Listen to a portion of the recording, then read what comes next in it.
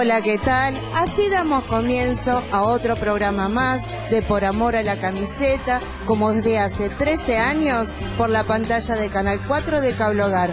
Hoy nos encontramos en una institución como mujer pionera del deporte amateur. En el programa del día de hoy podrás ver y disfrutar el segundo Congreso Internacional de Deporte y Turismo y aprovechando la presencia de destacadas personalidades disertantes, charlamos con el periodista Gonzalo Bonadeo y el presidente del Comité Paralímpico José María Valladares. Daniel Canelli, representante rosarino en el tiro con arco, estará presente en los Juegos Panamericanos de Toronto, Canadá. Decimocuarta edición de la Maratón de la Bandera 42K, charlamos con los primeros en llegar al podio más alto en varones y mujeres. Juan Carlos Pinto, entrenador del seleccionado argentino de gimnasia deportiva, nos cuenta la previa y lo que se viene en los Juegos Panamericanos de Canadá. Todo esto y mucho más en Por Amor a la Camiseta. Como te comentaba al comienzo del programa sobre el segundo Congreso Internacional de Deporte y Turismo, la charla con Gonzalo Bonadeo nos cuenta de su presencia y lo que piensa de este Congreso, como también con José María Valladares, presidente del Comité Paralímpico, cómo ve la comunidad y los medios al deporte paralímpico. Vienen los cuatro jinetes cabalgando, vienen digo y del Congreso, ya que es el segundo, las dos veces estuviste presente. Este año hay más stands, hay más charlas, ¿cómo lo estás viendo? Sí, veo que hay más interacción, está muy buena la parte exterior también. Eh, por suerte no llovió, esperemos mañana tampoco. Eh, pero me parece que está muy bien. Eh, a ver, quizás desde, el microclima local no se evalúa el valor que tiene esto, algo que nosotros en Porcel no tenemos. No quiere decir que por eso sea bueno, pues en Porcel hay muchas cosas, de Porcel tampoco tiene, pero en Porcel no se les ocurría ni por asomo hacer una cosa así, y además no existiría la posibilidad del apoyo eh, privado y público para hacer una cosa por el estilo. No hay, no hay. O sea, hoy está el salón del automóvil, lógico, pero para el deporte no habría. Y bueno, eso es algo también que deberíamos rever, así que en ese sentido es un, es un privilegio poder estar acá. Aparte, justo mañana se corre, bueno, mejor dicho el domingo, los 42 K de, los 42 K acá de Rosario, maratón importante, es la décima cuarta, así que y trae gente no solo de Argentina, sino del exterior. Sí, eh, está muy bien la gente que venga, pero por suerte se encontró la vuelta ahí en todas las competencias de, 10K o media maratón o, o maratón en Argentina, y es que lo que más impacta no es quienes están, sino la cantidad de gente participa. Eh, entonces, cuando vos ya ves que hay 3.000, 4.000 o 5.000 tipos en condiciones de llegar, hombres y mujeres de llegar a 42 kilómetros, decís, bueno, hay algo muy fuerte que está pasando, ¿no? Nosotros, al menos desde que en Rosario se hace, ya te dije, 14 años, cada vez es más la cantidad de gente y también muchas mujeres que, lo hacen. Así que. Sí, eh, se ha generado una cultura que es muy positiva, en el sentido de todo el país en general, porque eh, nosotros seguimos el rastro a través de de una persona que se dedica a eso, de, lo que está pasando con las carreras en, la Argentina y por suerte es muy positivo. Bueno, Gonzalo, gracias por tu tiempo, te dejamos y bueno, de nuevo bienvenido a Rosario y ojalá te tengamos por muchos años más. Muchísimas gracias. Por allá, importante que tengamos la, presencia del deporte paralímpico eh, en distintos aspectos. El año pasado enfocamos la organización general, tanto nacional como internacional. Este año ya nos metemos más en los mega eventos, la repercusión de los sponsors. O sea, dar todas las facetas del deporte paralímpico que es cada vez más completo. Por el lado del ente nacional de alto rendimiento deportivo, eh, estamos junto a ellos desde el inicio, en el 2010. Eh, el apoyo es total, no hay ninguna distinción entre deporte olímpico y paralímpico. Yo siempre digo que el valor de la beca que cobra por una medalla de bronce en un Juego Olímpico Luciana Aymar de las Leonas es la misma que cobra un atleta nuestro, Hernán Barreto, por ejemplo, de atletismo. Entonces, ¿cuál era el otro paso a seguir? El salto de calidad que teníamos que dar generar el interés de los medios y del empresariado. O sea, pero, pero no sentarse a esperar que vengan, sino nosotros generar un trabajo. Y en eso estamos, realmente trabajando mucho eh, en una imagen de excelencia. Un poco la charla de hoy acá en este Congreso va a apuntar a eso, a las publicidades, a los medios, a la imagen del atleta paralímpico. Y bueno, y vemos con alegría y con satisfacción que muchas empresas están viendo al atleta paralímpico como un modelo a seguir, como alguien que puede inspirar a los posibles consumidores de un producto y, lo muestran como imagen. Entonces, un poco ese es el, eh, el siguiente paso que estamos dando. Aparte, cada vez se van agregando más deportes. Realmente es como que primero eran algunos, ahora está bochas para adaptados, este fútbol de amputados, el tenis en silla de ruedas, los murciélagos en fútbol para ciegos, o sea, cada vez tenemos más gente. Mira, eh, nosotros empezamos desde el inicio de nuestra gestión en, en marzo del 2009 un trabajo muy fuerte con el Comité Olímpico que no se había hecho. Entonces dijimos, no, pará, el deporte es uno solo, yo siempre lo dije eso. El Comité Paralímpico trabajando en conjunto con el Comité Olímpico. ¿Y eso qué generó? Que muchas federaciones de las llamadas convencionales empezaran a abrir sus subcomisiones o sus departamentos paralímpicos. Entonces, en este momento, el COPAR, que es eh, que yo represento, el Comité Paralímpico Argentino, tiene 18 federaciones afiliadas y tiene más de 30 deportes. Entonces, la oferta que vos le das a la persona con discapacidad, cualquiera sea su patología, ¿eh? Eh, ciego, parálisis cerebral, silla de rueda, intelectual, discapacidad intelectual, todos tienen un abanico de posibilidades de deporte que pueden practicar. Y, esa es un poco la idea. Daniel Canelli, representante argentino y rosarino en los Juegos Panamericanos de Canadá en su especialidad tiro con arco. Daniel nos cuenta todo lo que se viene antes y previos a los Juegos, como también la plaza para los Juegos Olímpicos de Brasil.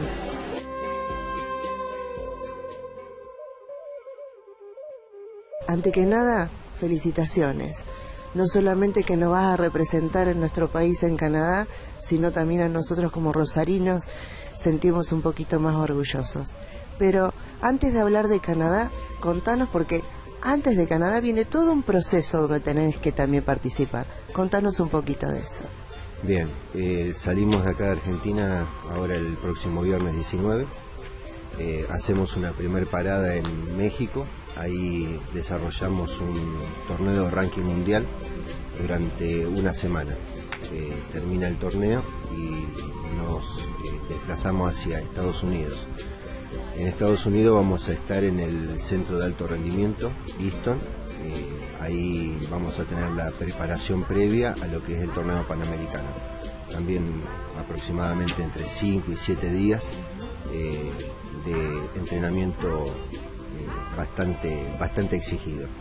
Y bueno, a partir de ese momento partimos a, Canadá. En Canadá vamos a estar llegando el 10 de julio y bueno, vamos a estar disputando todo lo que es el torneo panamericano. Las plazas eh, fueron ganadas por el equipo argentino. Eh, la federación pone a disposición del comité técnico eh, la disponibilidad de, viajar eh, hacia el equipo argentino. Para eso se disputan torneos evaluatorios. Dentro de lo que es el torneo evaluatorio se determina, en este caso el Comité Olímpico, el Comité Técnico, perdón, eh, determina qué puntajes hay que hacer para poder, digamos, ganar esa, esa disponibilidad de viaje. esto se hizo en Buenos Aires el 25 de abril, un torneo de ranking nacional y donde también se disputó lo que es eh, la plaza para poder, poder hacer esta gira deportiva. bueno, en ese torneo quedé clasificado en primer lugar. Un poco fue la, la preparación previa, porque juega mucho la parte psicológica también. Eh, pero bueno, se ve que estaba con todos los planetas alineados y, me fue bien en el torneo. Después de Canadá eh, viajamos a Alemania. En Alemania vamos a tener también una semana, ocho días de, preparación, de entrenamiento, porque eh, terminamos la gira en Dinamarca, en el mundial que se disputa en Copen- Copenhague. Y en ese mundial también se van a disponer plazas para el Olímpico de Brasil. Es un deporte muy, muy tranquilo, pero que exige mucho, no solo en la parte física, sino en la preparación mental también. Eh, juega mucho lo que es eh, la, psicología en, en esta parte del deporte y, y para eso hay que estar muy, muy preparado, hay que estar muy tranquilo. Entonces vamos a hacer un poquito de historia tuya, un resumen. ¿Cuánto hace que haces este deporte? ¿Cómo lo, cómo lo conociste? ¿Qué te parece? Bien, yo hace desde el año 2008 que hago este deporte. eh, siempre, siempre me interesó. Lo, lo empecé como una, una situación de, de distracción y bueno, eh, a raíz de eso fui buscando información, consigo la información, el conocimiento de este club que me, que me abrió las puertas y bueno, y hoy, hoy tengo la, camiseta de- del Club Fábrica de Armas eh, pegada, pegada al cuerpo. La verdad que gracias al, club, al espacio, por supuesto a la gente, al, presidente y a, y a la comisión, eh, ellos fueron un poco quienes me, me empujaron, aparte de mi familia, por supuesto. Aparte es una motivación extra, primero que tengas el club, que sea un lugar donde aparte de venir a practicar, también es una recreación porque es muy familiar el ambiente.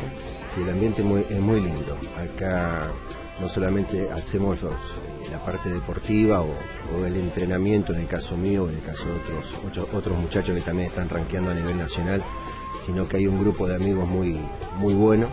Eh, acá se pueden compartir mates, charlas, eh, diversiones, asados, pero generalmente todos nos abocamos un poco a poder crecer en este deporte. Y en este momento, tu cabeza, ¿cómo te ves en el Panamericano y todo lo que contas, relataste recién antes? ¿Cómo está tu cabeza? ¿O qué pensás vos que te, que te va a suceder en ese momento? ¿O se puede pensar eso? Se pudiera pensar eso, pero trato en lo posible de mantener los pies sobre la tierra, porque es un evento muy, muy importante y hay que, hay que estar con, con toda la tranquilidad posible.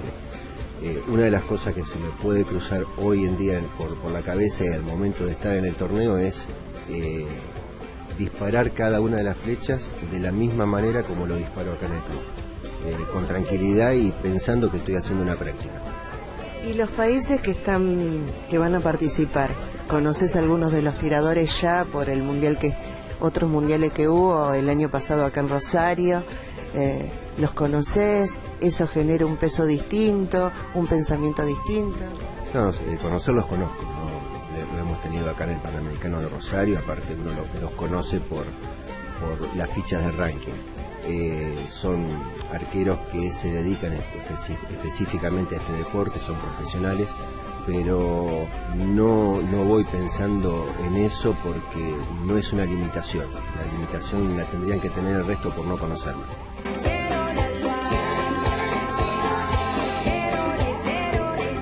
Y gracias, gracias como te dije al principio, por tu tiempo, tu generosidad y realmente sos un orgullo para nosotros. Bueno, muchas gracias a ustedes.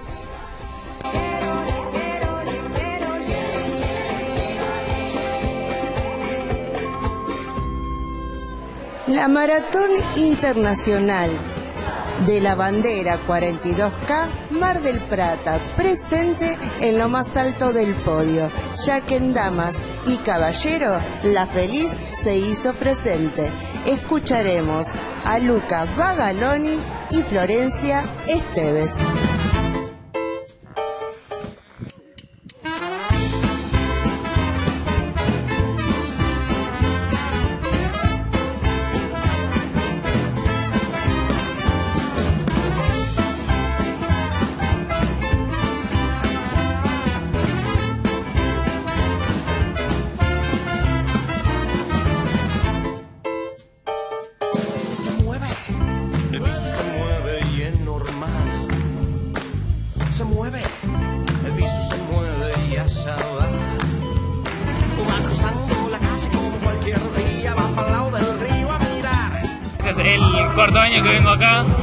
Es un clásico para nosotros venir, pues me encanta la ciudad, la gente está linda durante toda la carrera y eso hace que vuelvas todos los años, pues es muy linda carrera y la disfruté.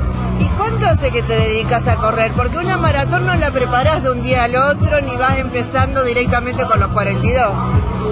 Eh, debuté maratón justo hace cuatro años acá y así, digamos, en forma más dedicada hace unos dos años que ya llevo corriendo.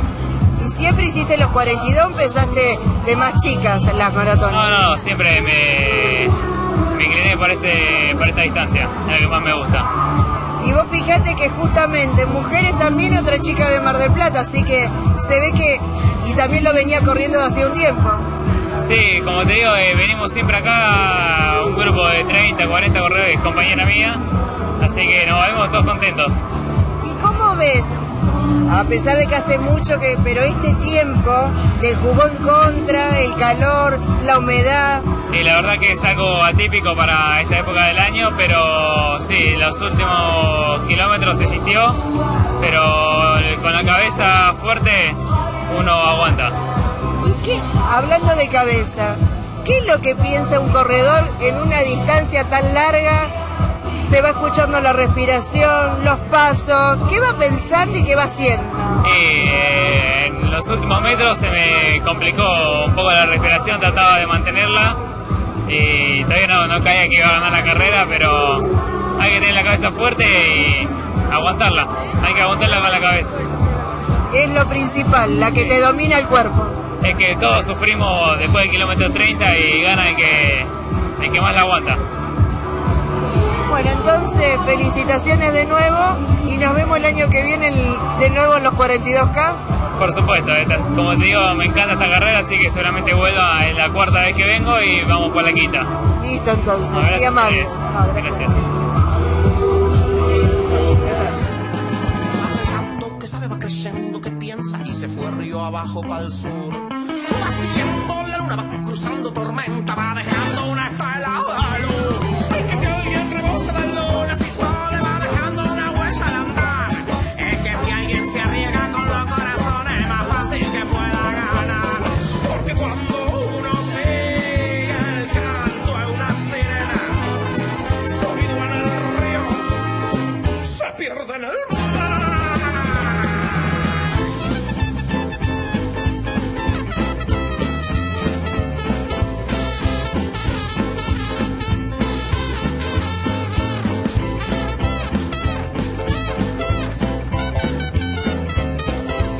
Florencia, felicitaciones. La verdad que una carrera tan larga, con este tiempo, realmente hay que tener una muy buena regulación de oxígeno, de Sí. cuerpo. Hoy sí, la verdad que el clima se presentó, si bien no llovió, pero estuvo cargado bastante humedad y por parte de cuando abrió el sol estaba, se hacía re pesado, pero bueno, la, se- la seguimos y, y bueno, eh, salió lo planeado, el tiempo que mi entrenador me, me había sugerido, mantener hasta el 30 y, y seguimos y bueno, terminé bárbaro. ¿Y de dónde sos? De Mar del Plata, en Dairiaus, provincia de Buenos Aires.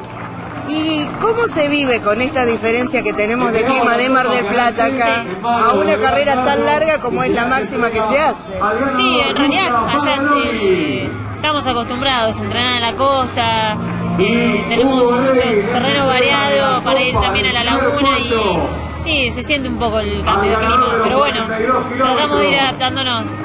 ¿Y cuánto hace que te dedicas a las carreras de pista? Eh, media maratón y maratón hace tres años, pero a entrenar arranqué hace cinco con Leo Malgor. Claro, porque viste que muchos hacen pista y después se largan a hacer maratones, por eso te preguntaba. Sí, he hecho varias pruebas, pero la que más compito son 21. Y bueno, 42, esta es la cuarta, la primera vez en Rosario, así que estoy muy contenta. Bueno, Me gustó mucho. entonces se ve que Rosario te dio suerte. suerte. Felicitaciones y nos Gracias. estamos viendo en la próxima 42. Ojalá, ojalá. Muchas gracias. No, gracias a vos. Muy amable. Gracias.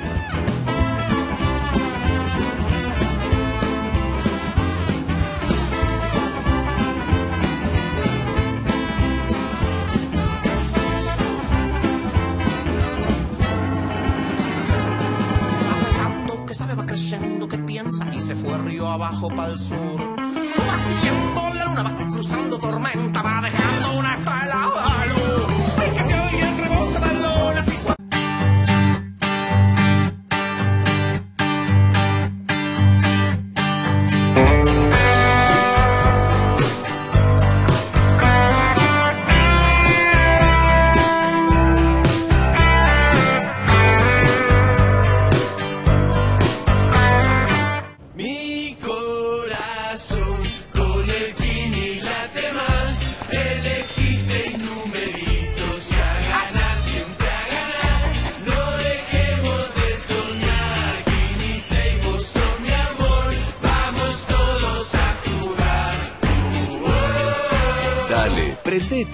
También hacete fanático al ritmo del Kini 6 y vení a festejar todas las semanas.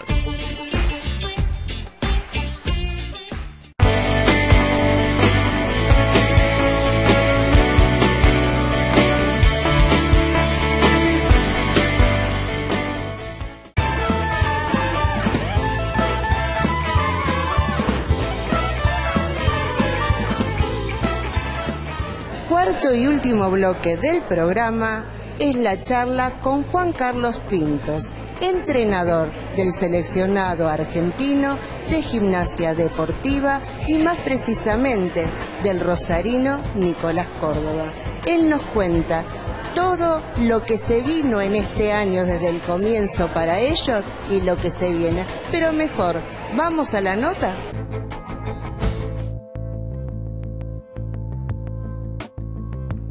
Tuvimos un año muy movido y, realmente muy lindo, porque son unas pequeñas caricias al corazón, al alma después de tanto trabajo y todo, y que eh, principalmente a Nico, después de, bueno, Alemania, que estuvimos en la Copa y no nos fue muy bien, después estuvimos en Doha, eh, donde quedó primero, la primera vez que un argentino queda primero en Doha.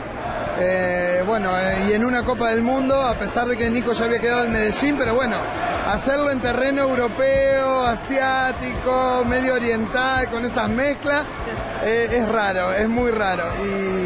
Y, y fue muy, muy del corazón escuchar el himno en una preparación tan majestuosa como es la Copa de Doha, con las felicitaciones de todos y después, bueno, volver a repetir casi el hecho en Varna y también en, en- en- en Eslovenia quedar segundo.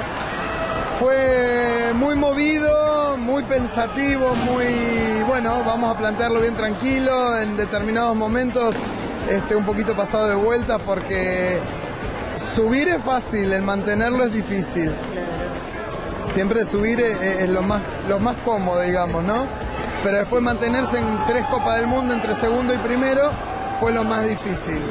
Y Nicolás un poco también con, el compromiso de tener que cumplir en las otras copas, ya había quedado en uno primero.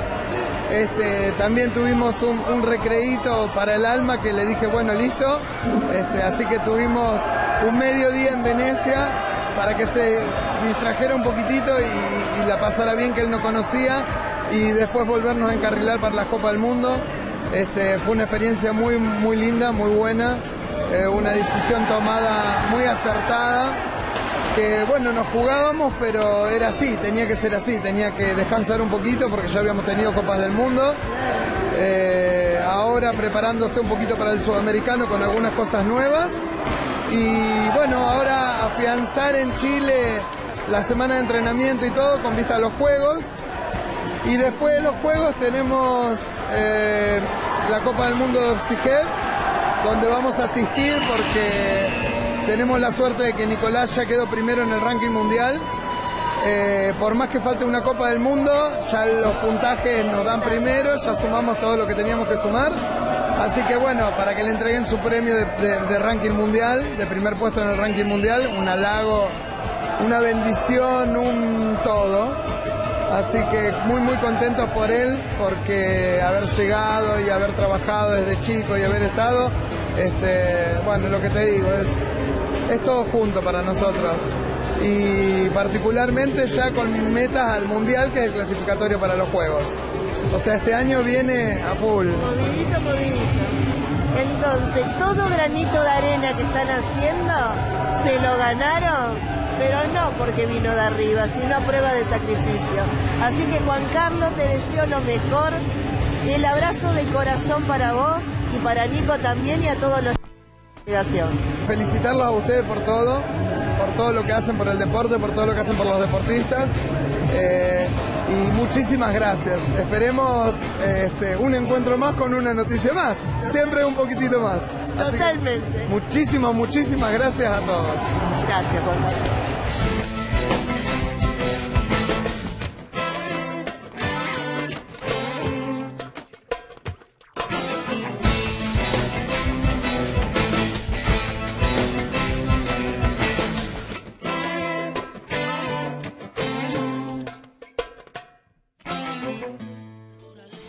acá el programa del día de hoy. Espero que lo hayas disfrutado y pasado muy bien junto a nosotros. Y te invito a otro programa similar el próximo domingo, 21 y 30 horas, y sus repeticiones. Pero como siempre, te quiero agradecer que estés junto a nosotros apoyando a los deportistas de nuestra ciudad como quienes nos acompañan a la difusión del deporte.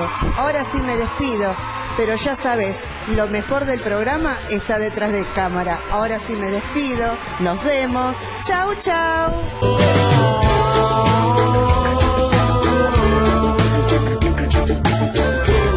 De la civilización.